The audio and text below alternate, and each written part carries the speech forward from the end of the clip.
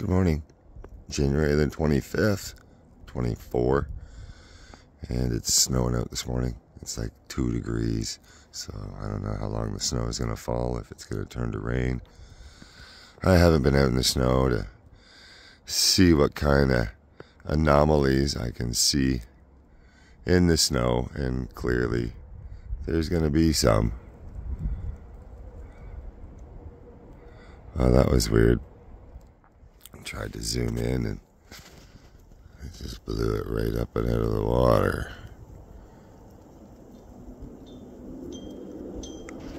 Oh, it just will not.